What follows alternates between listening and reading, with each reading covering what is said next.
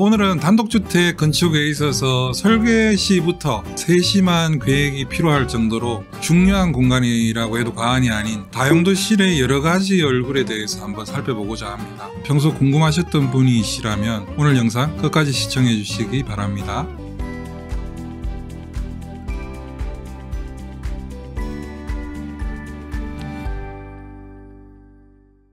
안녕하세요. 로아스홈스 팀장입니다. 주택 설계에 있어서 주방만큼 중요한 공간이 다용도실이라고 한다면 여러분들은 어떻게 느껴지십니까? 누군가 그런 이야기 하더라고요. 건축을 하는 데 있어서 남편분이 주도적으로 하면 소재 공간이 넓어지고 아내분이 주도적으로 하면 주방 공간이 넓어진다라는 그런 재미있는 이야기를 들은 적이 있습니다. 다용도실은 행주나 뭐 걸레 등의 손빨래 공간이고 김치 냉장고나 세탁기 넣어주는 하찮은 공간으로 여기시는 분들이 적지 않으실 겁니다. 어, 그런데 건축을 앞두신 예비 건축주 분이시라면 어, 다용도실에 대한 편견을 오늘 영상을 통해서 버리셨으면 하는 바람입니다. 그렇지 않은 분들도 많으시겠지만 다용도실은 여러 공간들을 다 결정하고 남는 공간으로 다용도실의 평수를 결정하시는 분들이 적지 않으시더라고요.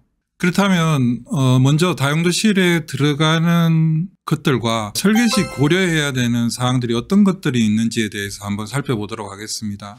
다용도실에는 일반적으로 김치냉장고, 뭐 세탁기, 간이 수도, 간이 주방, 수납장 뭐 등등 지금 열거한 것처럼 생각보다 많은 직기류가 다용도실에 들어갑니다.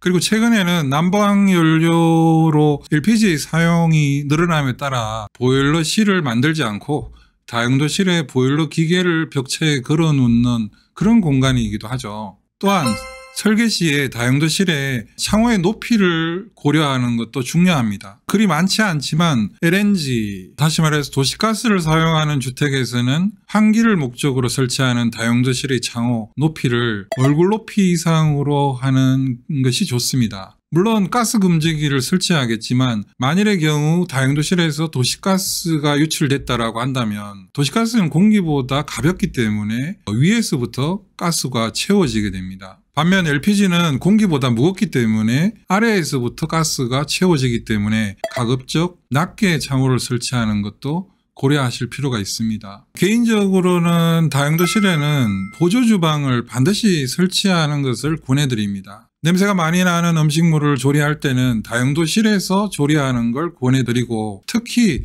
생선 구울 때 나는 연기가 인체에 좋지 않다라는 사실 요즘은 많은 분들이 알고 계실 겁니다. 어, 따라서 보조 주방에는 어, 전기 인덕션이나 가스렌지를 설치하시고 가스렌지 설치 시에는 또 가스 자동 차단기를 반드시 설치하는 것을 추천드립니다. 가스 자동 차단기는 타이머 기능이 내장되어 있어서 최초에 한 15분에서 20분 정도로 세팅해 놓으면 사용할 때마다 가스 밸브를 잠그지 않더라도 자동으로 잠기면서 가스가 차단되기 때문에 어, 혹시 뭐 보리찬물 끓이다가 깜빡하고 밸브를 잠그지 않았다 하더라도 하더라도 자동으로 밸브가 잠김으로써 화재 예방에 큰 도움이 되기 때문입니다.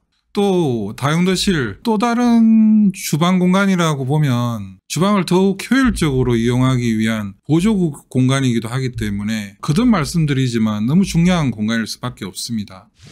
어, 다용도실은 설계 시부터 간단하게나마 손빨래를 할지 말지에 대한 그런 결정도 해야 합니다. 어, 다시 말해서 물을 다루는 공간으로 만들지 건식으로 만들지에 대한 고민도 필요하다라는 그런 의미입니다. 최근 제가 아는 건축주 중에 한 분은 설계 시에는 물을 사용하지 않겠다는 컨셉으로 다용도실을 시공했는데 청소하면서 물을 사용하는 바람에 주변 마감재에 물이 젖어서 애를 먹은 적이 있거든요.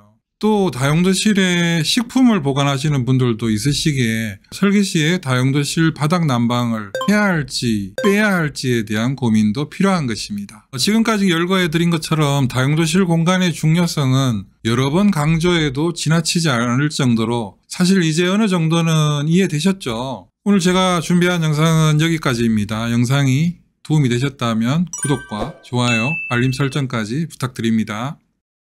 어...